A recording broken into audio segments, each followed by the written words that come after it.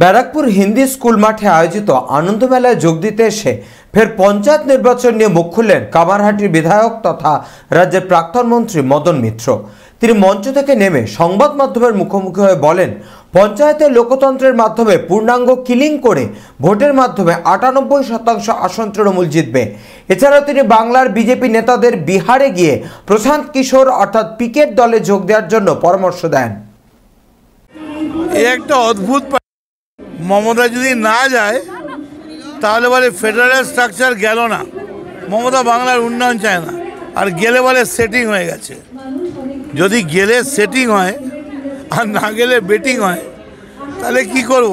তার থেকে পঞ্চায়েতে লোকতন্ত্রের মাধ্যমে পূর্ণাঙ্গ কিলিং কিলিং মানে গুন্ডামি নয় মানে ভোট। মানুষের গণতন্ত্রের ভোট, আটানব্বই পার্সেন্ট ভোটে আবার জিতছি। আর বিজেপি টিজেপি নিয়ে বলবেন না। ওদের বলুন, চলে যেতে নীতিশ কুমার নতুন পার্টি করছে বিকে নতুন পার্টি করছে বিহারে, ওইখানে যেতে। আর বিজেপি নিয়ে এখন বেশি আলোচনা করে না। ব্যারাকপুর থেকে সৈকত গঙ্গোপাধ্যায়ের report, channel twenty four by seven.